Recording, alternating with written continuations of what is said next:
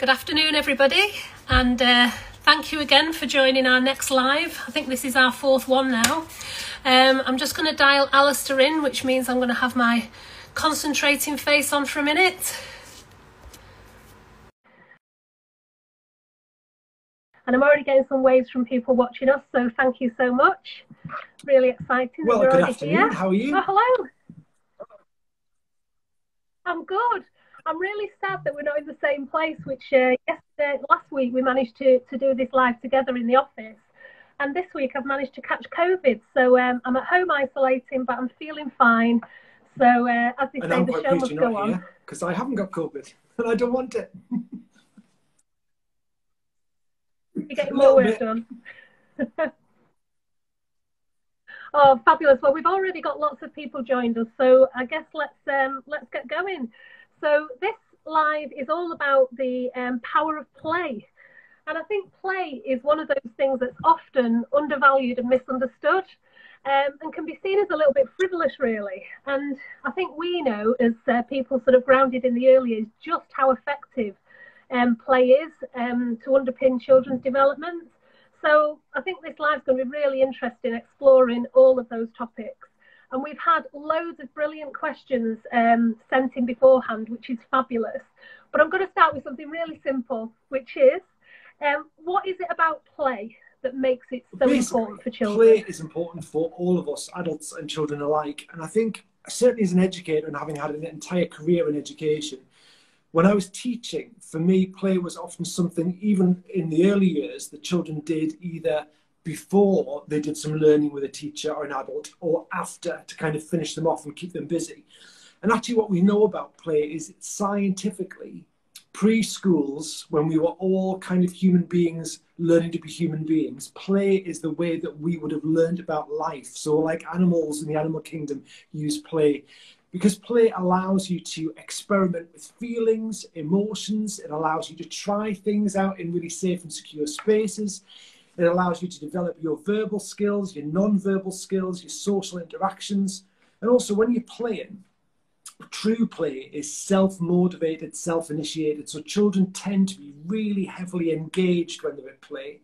And when you've got really heavy engagement with children, that's a massive opportunity for progress and learning and attainment and interaction. So play is physiologically and cognitively really effective for your development as a basic human being. And when we know when children are at play, more areas of their brain light up simultaneously, so are active, than they are in any other singular task. So when you are playing, you not only have to use the knowledge you've already got and rehearse and consolidate that, you're actively inventing new knowledge based on the things that are happening around you. So the more children can play, the better. I think you're right. I think play is often seen as something to get done and out of the way so that proper learning can commence. But we all know that this really is what proper learning is all about in the early years. Jennie disappeared then, like magic? Did I disappear? I was saying, now that's a shame because we've invested in real high quality Wi-Fi and it's not, it's not playing ball, but never mind. Um, I was saying that often something that you want to get done and out of the way so that yeah. real learning can commence we all know that it is, and there's a difference between play and activities. We might get a chance to explore that later on. And again, for parents, often you feel like you've got to set things up for your children to create opportunities for them to paint or draw or do, and those things can be good. But also, if you think about interactions that you have, and also time for children just to be on their own and play on their own, there's often loads more value in the spontaneous, self initiated play than there is often in those structured activities that take you an hour to set up. Children spend like 30 seconds doing them, then you take an hour to clear away, and you wonder why I've done this in the first place. When actually, just an opportunity to organically play probably would have been better. I think there's a couple of things I want to under, unpin there a little bit. One of them is the sort of pressure parents feel to children entertained all the time, and actually boredom or a little bit of boredom anyway is not such a bad thing. So well, maybe there's a very famous phrase that I'm going to paraphrase, and I can't remember who said it. It's that famous, which is boredom is the mother of invention, and that's a real truth. Because often with children, if you're out somewhere or you're in a space, in, your, in the garden, in your lounge, in the park, whatever, they're very unlikely for them to sit there for an hour and just sit there and say, Well, I couldn't think of anything to do. Children will invent their own play and they create their own opportunities to play because it's innate in who we are as human beings. So often, when you are really getting children to engage in self initiated play through a little bit of boredom, that's when they've got to use all their grey matter, they've got to be inventive, uh, rather than saying, Right, here's an activity, let's sit down and do this. So a little bit of boredom is a very good thing. It doesn't necessarily mean that you can you know, stick them in another room and then disappear for a couple of hours. But it's about not always thinking, I've got to have something planned or I've got to have something organized. You don't. And often the most ambiguous resources are the best ones to use. I think you really opened my eyes to that. As I've said before, I've got um, three children, two of which are older and adults now, and one that's 11. But Olivia came along when I was beginning to really, understand the early years because I was running a children's day nursery. And you, you said to me, a bit of boredom is not a bad thing. And I remember quite often, um, sort of with my other children, feeling a real a sort of panic that I needed to keep them busy and active all the time. And actually, with Olivia, who's the younger one, I quite often, if she would say, "What are we going to do now?" I'd say, "I don't know. What do you think?" And sort of back when she was that little bit older. Obviously, you can't say this to a baby, but to a you know a, a preschooler, to pass it back yeah. and say, "Oh, I don't know. What do you think?" and give them opportunity to have a bit more Absolutely. thinking about what do they want to do. I think the other thing I just wanted to touch on, you talked there about um, setting up activities, and, and I think Instagram can really, really feed into this idea of creating these very beautiful looking activities for children.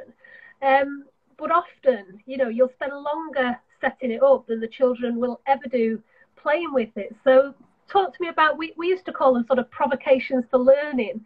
Um, but what's the reality of that? What really parent, matters? you've got opportunities to engage in free play. So when you are just giving your children chance to interact with the resources that they've got or the space that they're in, and often that can be free resources or things as simple as you know sticks in a cardboard box and we talk about that a lot in my first five years and when we are talking about the development of children in the app we do give lots and lots of opportunities and examples of activities and interactions that you can do with children. And some of them are about making it more open ended. So, we're not often suggesting activities that are cut this out or make this out of a paper plate. They're often about activities and interactions that are making parents think about how you can offer your children the kind of maximum potential. But there are things you can do that are sometimes called invitations to play or provocations to play. So things that can provoke children's interest or their learning. But then there are set up activities where you might say, you know, we're going to make a penguin out of a toilet roll tube and I've downloaded the instructions off the internet. And, you know, basically then what you've got is children just sticking things that you've cut out for them onto a toilet roll tube. And it's an activity with an end point and it's very, very structured. Whereas actually, if you said to children, here's some creative resources, let's see what we can make with those, whether that be paint or crayons or mud or whatever it may be, then you've got that the provocation can be really open ended and open to interpretation. And the more open ended it is, the more engaged children tend to be. Yeah, it's letting go of that control, isn't it, that yeah. we have as parents to want to sometimes see an act and something that we look at and go, isn't that amazing? Isn't it pretty? But actually, the more amazing and prettier it is, the more likely that we as adults have probably over engaged in that activity and not really given the child the space to, to lead and, and learn themselves. Um, I think that's one of the questions we've got actually. I've just sort of led into that without realizing, which is when to join in and when to watch. I think that's a really um, good question that one of the parents has. has it is. It's a really good question, and it's not one that's always got a definitive answer to it because no two situations are the same. And I think watching is really good as a parent because you learn all sorts about your child's interests and how they play and their language development by watching. And sometimes by interacting, we can over control their play. And I think one for all of us as parents, one of the things you've got to really try and let go of is your assumption of what's going to happen. Because what you assume is going to happen is probably not what's ever going to happen in any kind of situation around play. You want children to have that real high level of creativity. So as a parent, it's about thinking, right, I'm going to let the child lead and if I see an opportunity to support them or to scaffold their learning a bit mm. or to ask an open ended question, then I'm going to do that. But if they're really happy and engrossed and engaged in their play, I'm not going to interrupt it by saying, Oh, that's a lovely tower. How many bricks are in your tower? Shall we count them? One, two, because then your child just learns, like, Oh, it's the how many question again. I just wanted to build a tower. And it's things like when they've made a picture, not saying, What is it? Because if you say to a child, what is it? You're clearly telling them that you have no idea what it is they've done. So I would always say things like, oh, you know, I love it. Tell me about your favorite bit. How did you make that? I love the fact you've chosen that color. Tell me about some of the other things you've used. So rather than say, what is it? Well, it doesn't look like that.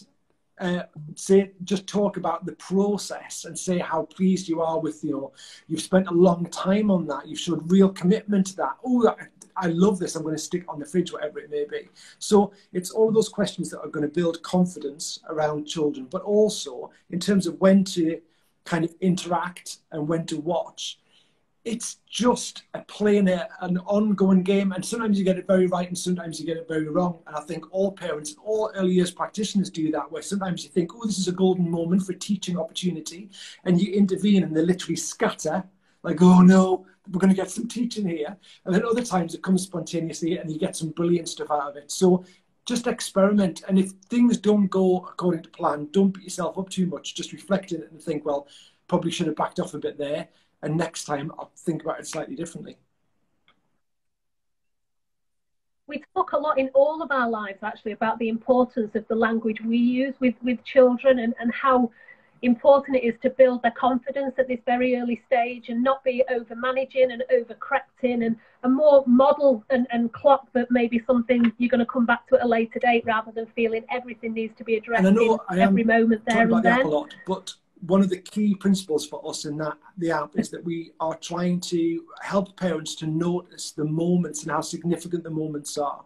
So rather than thinking, well, they haven't made a picture yet, or they're not playing like this yet. It's about saying, no, but they are doing this. And the fact that they chose to do that, or the fact they were able to do that, that's really significant in their development. And it's those things that parents might miss because you're not aware of what they are, that the app really supports you with and says, right, look at this, this is what that links to, and here are some activities you can do to support that. So noticing those moments and not just the big milestones is really crucial. And it makes you, as a parent, relax a bit and you think, actually they're doing loads of stuff now that I know what I'm looking for. So I can take a breath, I can chill out a bit, and we're not in that kind of constant race, which you often feel like you're in as a parent, especially with Instagram and Facebook, to get your child to a space where it appears everybody else's child is, and actually, in truth, they're probably not. Yeah, there's no one pick there, and I'm wondering where to go next with it. But I think the first thing I'm going to do is just ask you to explain to everyone a little bit about the different sorts of play and, and that children tend to, to sort of progress yeah, through so from birth stages onwards, really. of play and they're not really linked to particular ages. So what we want to be really careful about, and again, it's what we talk about, it runs to the core of my first five years. We're not about assigning development to an age. We're about assigning development to the unique journey of a child. So it's hard to say by the age of two your child will no longer do this because you get some two year olds that are just two, you get some two year olds that are nearly three, and you can get two year olds that are just two but have the development of a typical three year old and vice versa. So we talk about stages of kind of play development where children will start off being very much in solitary play and that is where they're not really interested in what's going on around them. It's about them finding a great deal of interest and fascination in the discovery of the world in front of them. So that element of play is usually fairly early on in their development, and that's that kind of fascination with objects and putting them in your mouth and all that kind of stuff that goes on. Then you kind of move into onlooker play, which is where you'll see children who are slightly further down the journey watching other children play. So they will sit and literally just watch what's going on. And again, that's perfectly normal. Sometimes parents worry should my child be joining in? Should I try and get those children to join in with my child? And again, you know, it is a very common stage of development where children are just learning play habits because you need to learn socially how to play. And I talked a little bit earlier on about things like verbal cues and non-verbal cues. So all the really subtle stuff like facial expressions, body language, you learn that by watching and, and interacting. So then children tend to move into parallel play, where they will play beside another child, but not with. So they're in the same space, they're sometimes sharing resources, but they're not in shared play. Um, then you kind of move into associative play, where uh, there's some interaction in their place. They might share a resource, they might share a look, they might share a bit of conversation, but you wouldn't say they were playing together. And then you get cooperative play at the end, which is a child and other children or child that are engaged in play that is clearly them playing together where you get those lovely scenarios where they spend more time discussing the rules than they do playing the actual game. I'm going to do that, and you're going to go there, or they change the rules all the time. And that lovely thing where children do it, where they change the rules to win. So now I've got three boys, and when they were little, they constantly just changed the rules all the time. So one of them would win, and then the others felt it was really unfair. But the resolution of that injustice was really important. So letting children fall out in play and then fall back in again is really important. And as an adult, being able to show them how to resolve a conflict effectively through play is teaching lessons for later life that are going to be really useful. Absolutely. Certainly, some of the lives in the future are really going to be touching on that sort of conflict, uh, how to support children. So we'll have to come back to that another time, just because this topic on its own is so huge. I'm going to keep us focused on it. Um, we've had another question come through, which I'm just reading out here, which is how can I move my child on when they get stuck in parallel play? So there's a few interesting bits to unpick there. I think anyway. fundamentally, the, the key message is not to worry because they are stages of development, and we have um, talked before, and we've got lots of information on our website about schematic play and how children will go into some play habits that they repeat and repeat and repeat and repeat until they've processed them physically and emotionally, and then they move on. So if you've got a child who's a parallel player, then they it means that for their development, and again, remember for phases and stages of development, some children stay in them for very brief moments, some children stay in them for quite elongated periods of time. So it could just be that's exactly where they are. And the best thing to do is allow them to stay within that space because if you try to move them out of it with all the best intention, what you're probably going to do is raise their anxiety because they are not developmentally ready to move into the next phase of co play. So therefore, they become anxious about it. So you can model it as an adult, you can play with them in different ways in that kind of adult and child interaction. But for me, I would say kind of hold your nerve, see it as a phase of development and celebrate where they are within it, and they will usually move out of it. Absolutely, and somebody's just popped up a question there that they're really fascinated about these different stages of play and whether there's any more information. Well, that's all in the yeah. PDF, isn't it? Whenever we do a live, we do PDF as well that you can download. So um, in the bio of the Insta, um, you can log on and get the um, downloadable PDF talks in more detail. And because we're an app and a company today. that is literally steeped in play, if you go on our website, which is myfirst5years.com, and look at our articles and blogs, there's loads of extra stuff around just the science of play and how ace it is. Dot com, that's very true. I yeah, knew that as soon It's because I'm reading what's written behind me. We get to say it twice, that's all right. MFY.com. don't worry, don't worry. So, um, another that's come in is ideas for outdoor play where there is no. So the best outdoor play is where there is no equipment available. So outdoor play is good for like everything. It's good for sensory development because you're feeling the weather, you're feeling the rain, the wind, the hail, the sleet, the snow. It's really good for your physical development, gross and fine motor. It's good for cognitive development because you're problem solving. It's good for mathematical development because it's shape and sorting. There's just loads of stuff. So again, boredom can be useful in an outdoor space. So getting children to literally find things to do. Children will always engage in things like role play and small world play. So small world play being like puppets, characters, that kind of stuff. So you can make really simple things like get a leaf and a stick and just thread the stick through the leaf and make a set of little hand puppets, which are just different shaped leaves that have got different characters. And you may have to help with the threading of the stick You can collect stuff. So if you've got take an egg box with you, always good to have an egg box in your bag when you go out because they're brilliant for collecting stuff.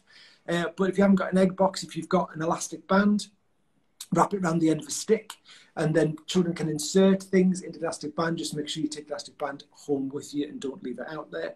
Things like lying on your back and looking at clouds, seeing shapes, uh, all sorts of stuff in terms of weather and looking at rain and water and where it falls and what's waterproof and what's not. There's literally take a lead from your child. There's physical stuff you can do like gross motor, you can create obstacle courses, and you can do things like have sticks in the grass and say you've got to leap over the stick, you've got to balance walk along the twig, so you don't have to be moving logs and have you know big stuff. It can be really inventive, but uh, use what you've got and use that kind of inventiveness that comes from children when they haven't got anything. Listening to birds, all sorts of stuff.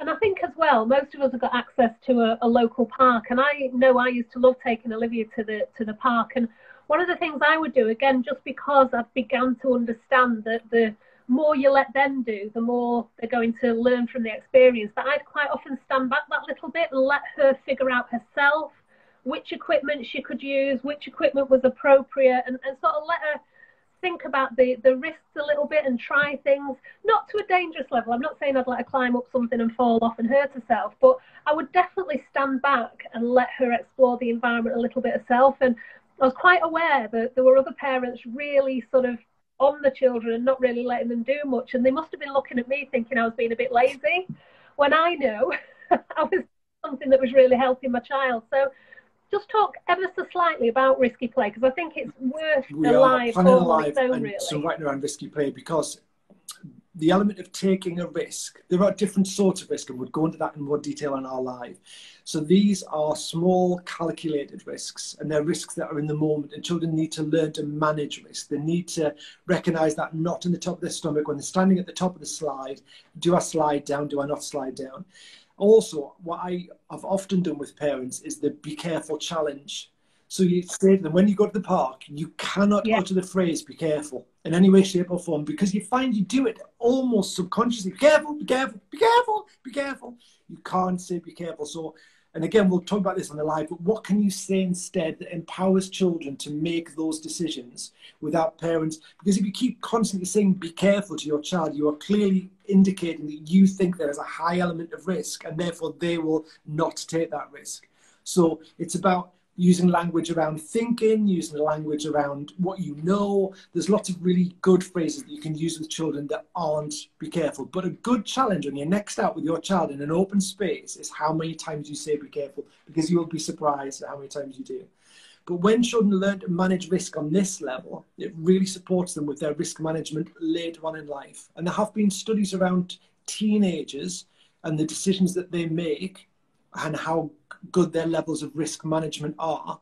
And so the more experience they can have of managing risk safely really influences how you make decisions about risk and what that risk might be later on in your development. Yeah, no, completely agree. Another good question that's come through is that this uh, parent's little one is obsessed with cars, and how can she encourage learning well, with this play? The, could, could just do a live on that one comment. So the obsession with cars is great. So it's a real showing a real interest. That could well be a schematic play. Depends what the child is doing with the cars, or if they've just found a fascination or an interest around cars. Because sometimes what happens is that because children get really positive feedback around. So, for example, we're going to do a live on gender as well. But if we talk about gender, what you sometimes find is that gendered interests pass through families. So you might get a boy who's really interested in cars because they've got a dad who's really interested in cars. So when it comes to child development, that's a place where they meet on one level or another. And the child will see they get a really positive or sustained interaction from that particular parent around that particular interest. So therefore, they begin to really develop that interest because they associate it with a positive interaction. So it's not a conscious thought; it's like a subconscious thought. So why children develop interests in particular things is fascinating, but it's often about the positive reinforcement they get around that particular thing. Um, but also in terms of if it's a real interest in cars, those all sorts you can talk about in terms of the science. There's ramp building, there's speed at which cars can move or not move, why it moves on round wheels, not square wheels, even down to the how many of you got the sorting, the categorizing. And I wouldn't make everyday car day school because then children lose interest. But yet you just get high levels of engagement are your routes to progress, attainment, and, and development. So capitalize on that engagement. Yeah and but no time because then it because yeah. they see yeah. it don't they and they just think well and also you can this. take the cars into other areas of play so rather than saying oh it's cars again if you want to really develop that small world imaginative language development play then as an adult you can model the cars going into the garage for a service, the cars going into the town to pick up whatever it may be, who's going to get in and out of the car. So you can use the car as a vehicle, see what I did there, to move into other areas of play development, which you would scaffold as an adult, but really still base it around their interest. So I'm not saying just play with cars exclusively and nothing else. You can dilute that kind of car fascination by moving it into other areas as well, even down to things like paint the wheels of your cars and run them across big sheets of paper and make some fantastic car track art or take them outside and do it in mud. So there's all sorts of things you can do that use that kind of interest and fascination.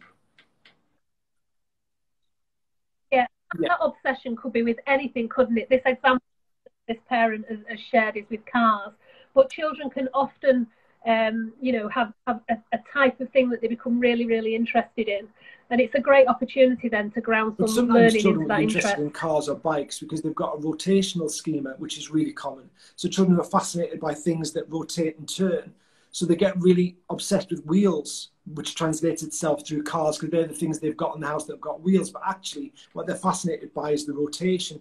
So you can even bring in other things that yeah. rotate and see if it's linked to that kind of rotational schematic play, which again is about children carrying out this play pattern again and again and again until they've processed it physically and cognitively, and then they tend to move on. Reminded me of another PDF we have that you can yeah. download, which is all around schematic play. And I know that's been a really popular download because it's something that all you know children present these these um, these ways of being, and it's great for parents to have a bit of a deeper understanding of that. Um, a few more questions. I'm aware time is pressing on, but I think this is quite an interesting question, which is the best play for learning age. Now, as I ask that question, I know it's a loaded question, but it's genuinely been asked because a big passion of ours is to really try and move away from talking about ages and more to talk about where the child is at. So maybe we can just have yeah, a, an unpick of that a little thinking bit. about stages of development, but also play is multi-layered. So there are all sorts of different sorts of play. We play. If you think about play as rehearsing to be a human being, and there are so many aspects of human beings, from emotion to language to physical development, social interaction. So there are threads of play that link to all of those things. So play is really complex, and children play in different ways at different times. So you'll get children who are really good at solitary, imaginative play, so they can make up fantastic stories about amazing things, but they're not very good at co-play with somebody else. They're not very good at social interaction, or they're not a team player. So they really struggle when it is those games where there are more than two or three children who are playing together. So it just depends where your child is in that particular aspect of play and what you can do to support them, which is usually give them more opportunities to engage in that sort of play, but also model it as an adult. So it's about adults getting back to our kind of inner child and not necessarily playing like a child, but modeling effective play.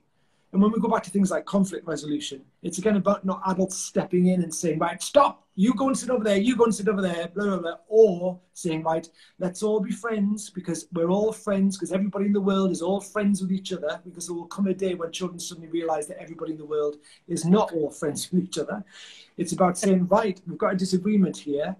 How can we resolve it? How can we find a way out of that that's fair? And by modeling that as an adult repeatedly, then children learn that process. And I guess without overplaying, um, our last 12 months' work, the whole purpose of the app is to really help parents to understand the power of play. And literally, there are daily um, activity ideas within the app that are really, really simple. They're not Insta worthy, it's not about that. It's about really simple ideas that you can typically offer your child with either what's in the environment outside the front door or you know, in the cupboards in the house, but really simple and effective um, play ideas based on exactly where they are um, right now. So um, it's definitely worth having a download, peeps. It's um, it's a 14 day free trial at the moment as well, so there's nothing to lose. Just uh, download it from the bio, and we'd love to get. Go on. Um, a couple more questions. Um, is TV really that bad? Sometimes I just need 20 minutes to myself, but I feel really bad leaving him Well, to watch the TV. There is good TV and there is bad TV. There are good lengths of time, there are bad lengths of time. There's got to be a bit of judgment in there. We talk a lot in my first five years about realistic parenting and realistic parenting being that you are realistic about the fact that you are a human being, you have a life, the world gets in the way of the perfect parent, and there is no such thing. So, all of us sometimes need 20 minutes or slightly more just to catch our breath, or go to the loo, or feed the dog, or unpack the shopping, or whatever it may be. So, yeah, if you're sitting your child down, obviously you think about what you sit them down in front of. Some of the things you might sit them down in front of because they just love it. They've got zero educational value, but it gives the child a great sense of enjoyment.